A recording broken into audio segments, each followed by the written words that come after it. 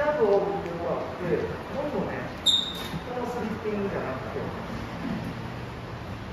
ゾートこうこれでまあこっちにでプロやったらこの体勢でもドーン当てる人がいるんですけどこんな状態足前下まで当てるってなかなか至難の技なんで結構これこうしたらこっちをもっと戻す勢いでそれをこれが引く引いてからやったら若い引いてからこっち相手が引き返してバーンってくるから。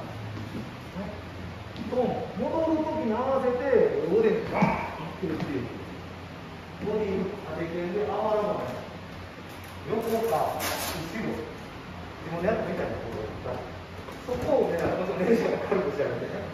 うん。あここまでここか。はい。うん。